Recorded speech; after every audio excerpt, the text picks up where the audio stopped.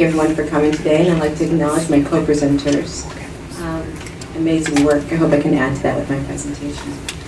So, hello everyone. Um, my name is Amelia Gavin, and today I plan to present an ongoing line of research regarding why black women are at heightened risk to experience adverse birth outcomes. And if I have time, I'd like to briefly discuss a multi-year intervention study that um, I'm working on with some others designed to improve birth outcomes among blacks. So how do we define an adverse birth outcome?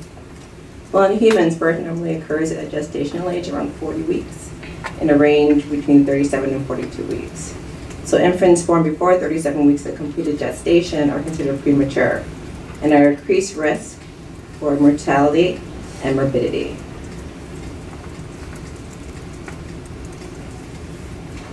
Sorry. I'm not an Apple person, so I'm going to have to go back to my notes. No, yeah. Um, a population-based longitudinal study using registry data from 1.2 million births in Norway reported that prematurity was associated with diminished long-term survival and reproduction. In addition to the human costs associated with preterm birth, the economic costs are profound. An IOM report estimated the annual societal economic burden associated with preterm birth, including medical care through ed early education, childhood education, maternal delivery services, and other labor market um, productivity, was at least $26 billion. So although women who are at risk for delivering preterm can be identified clinically, the majority of cases are unknown. Our lack of knowledge regarding the etiological nature of preterm birth has led some to conclude that preterm birth is one of the most persistent and least understood public health concerns in the United States. And unfortunately, this is compounded by one factor, the persistent disparity in preterm birth between black and white women.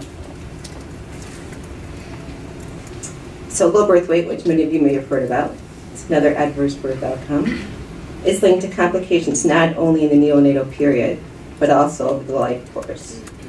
For example, research shows that low birth weight in combination with rapid weight gain in early childhood is associated with cardiovascular events in adulthood.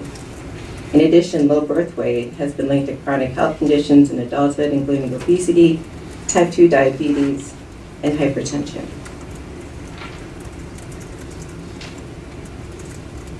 So although you can see that recently the preterm birth rate has decreased across time, which is a good thing, right? The black-white difference in preterm birth persists. And if I showed you um, findings across different years, it would look exactly the same.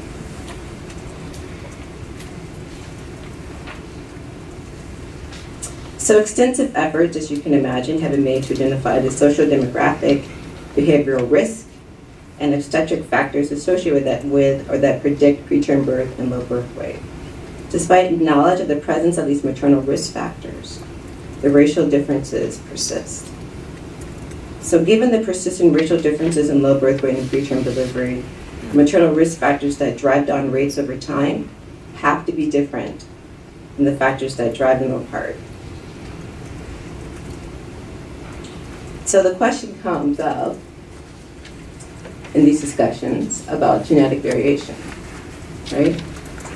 So there hasn't been much support for that explanation. I think that's in large part to the work of James Collins and his colleagues at the Northwestern University, who've looked at Illinois state vital statistic records and looked at birth weight distribution for US born and foreign born black and white women, and most recently have looked at intergenerational birth weight distributions.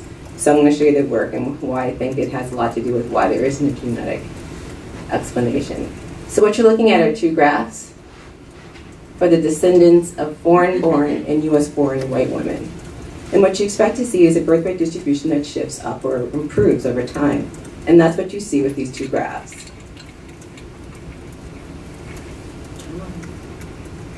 Is that working? Yes. Mm -hmm. Do you want to see three of? Yes, thank you. so the third graph you're looking at is the descendants of U.S.-born black women. The birth rate distribution again increases slightly to the right, but not to the greater extent as we saw with the US born and foreign born white women.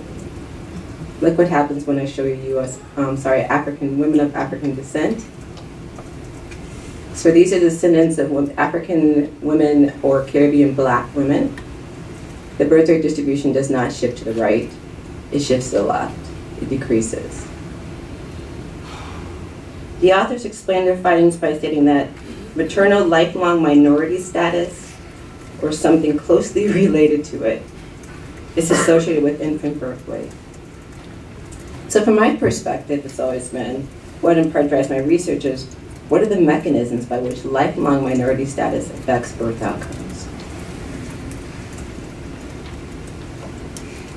So what about preconception health and periconception health? Beginning in the 1980s, people may have heard of the fetal origins hypothesis, Barker's hypothesis. Findings from epi- epidemiological studies highlighted the role of the fetal environment in the course of adult health.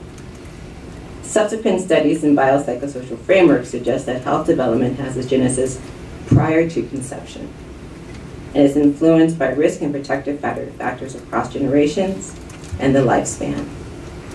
So given this body of research, this raises the question whether the traditional prenatal period is an adequate time frame to reverse the long-term consequences of risk exposures among women at greatest risk for delivering a low birth weight or preterm infant. So I have to give credit to my mentor, John Lynch, who actually drafted this slide for me that I've been using for the past 15 years. It's an oldie but a goodie. So in contrast to the traditional prenatal period, a life course approach not only takes into consideration the role of biological, biological and individual risk factors. Where's my lady? I love this slide. Um, so it takes into consideration the biological and individual risk factors, but also the role of the social environment and structural factors. And all these matter on the health status across the life course of anyone, including black women. As a result, birth outcomes are not only the end product of the fetal environment, but reflect the, reflect the effects of cumulative burden, which can be conceptualized as chronic stressors like racial discrimination, economic disadvantage, for example. So across the life course, that places some women at increased risk for adverse birth outcomes prior to pregnancy. So many of you have heard the idea of allostatic load, yes? No, someone says. Well, let me tell you.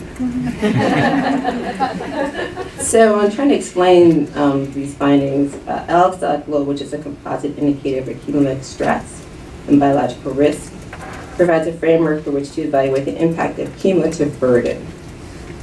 So according to the theory of allostatic load, exposure to acute stressors is adaptive, while exposures to chronic stressors are maladaptive.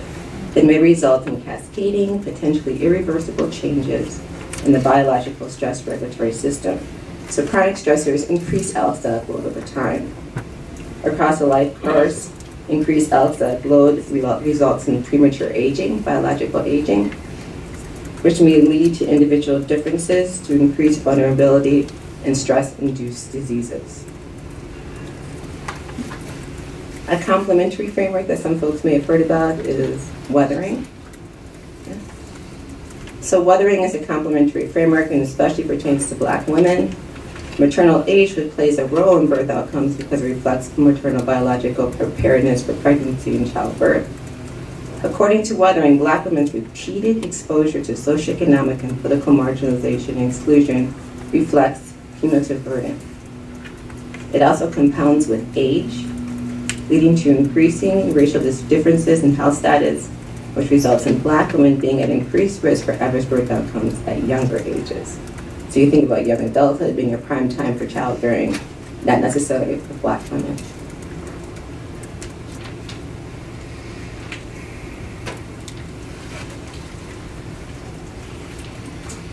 So after 15 years of studying this, I finally get to say that I get to do an intervention. And it's quite ambitious um, because we're trying to stem the flow of structural inequality. And we're trying to offer up an interven- interventions across the life course, early life course, that really buffer African American youth from the influence of chronic stressors across the life course. So go with me on this one. So given the role of weathering and its impact on black women's health, you're designing a multi-year, multi-level preventive intervention designed to be a social buffer for the stress response system by reducing behavioral risk factors in kids and improving um, protective factors in the wake of everyday stresses like micro and macro aggressions. Okay? Um, so we're doing this, our sample in particular are uh, black females and black males starting in third grade. Over the long term, we expect reduced physiological degradation or weathering to result in better birth outcomes in the next generation and reduce the thus reducing the intergenerational transmission of health disparities. So we're using some evidence-based um, interventions, which some people have argued with me, and I agree with them, that they may have be different among different um, racial groups. But we're going with the best ones we have, which are at the classroom level, at the school level, at the family level, and at uh, the entire procedural around disciplinary issues in schools, which is very important to Black youth. So I will be able to stop there. Oh, that's okay. Oh, thank you. You- Um, Thanks, Eddie. Um, so just a little bit more about the interventions. Um, raising healthy children is an evidence, evidence-based intervention that's around classroom level management and how the teacher handles um, issues in the classroom. And then there's positive family support, which is a multi-level family-centered intervention, which is designed to address family functioning, particularly around middle school, when adolescent risk behaviors increase. And we know that adolescent risk behaviors are causal in, in um, terms of adverse birth outcomes or subsequent prenatal substance use. We're also letting teachers decide what they want to do with having a physical activity um, for teachers to generate more physical activity among kids, thus lowering their, um, um, their health risk. And then the one I'm really excited about is this kind of multi-tiered school-wide intervention to disciplinary problems that are racially just. So if anyone knows anything about disciplinary policies in schools and how it disadvantages African American youth, you know this is an important component to keeping kids in school, keeping them on track, and improving their health outcomes over the long term. And you don't want to see my draft logic model. I-